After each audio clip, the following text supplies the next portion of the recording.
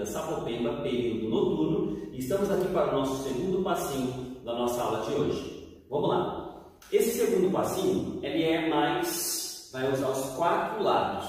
Então a primeira coisa é a gente começar a deixar claro quais são os lados que nós temos na nossa sala. Esse que eu estou olhando para vocês vai ser o primeiro, esse vai ser o segundo, terceiro e quarto lados.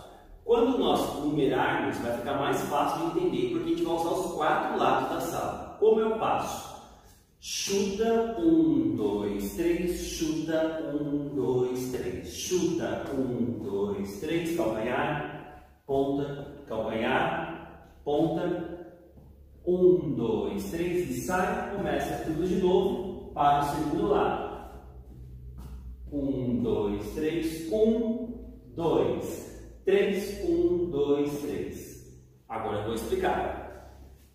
Chutou, pisa um pouco à frente para que você consiga liberar o espaço da sua perna cruzar por trás. E aí você fecha.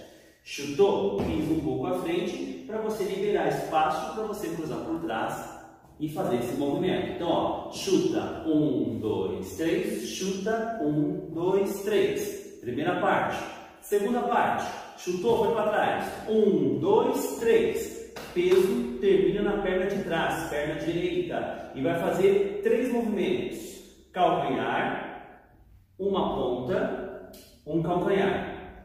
Tudo de novo? Vamos lá. Chuta. Um, dois, três. Chuta. Um, dois, três. Para trás. Um, dois, três. Um, dois, três. Ok? Daqui nós vamos fazer uma repetição do calcanhar contra calcanhar, só que em contratempo, vai ser mais rápido. Então, ó, um, dois, três, e o peso termina na perna da frente. Mais uma vez, passa o peso para a perna de trás. Vamos lá? Já passou? Agora vamos lá, ó. Um, dois, três. Fechado? E aí nós vamos virar chutando. E aí nós vamos para o nosso segundo lado.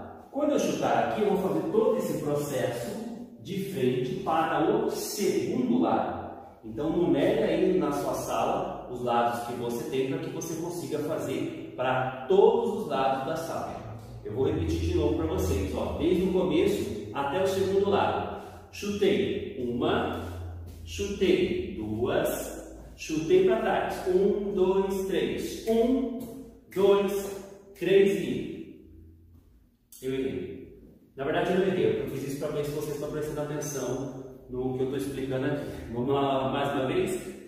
Um, dois, três e um, dois, três para trás. Um, dois, três, um, dois, três, um, dois, três e chuta. Um, dois, três e um, dois, três para trás. Um, dois, três, um, dois, três, um, dois, três e começa tudo de novo.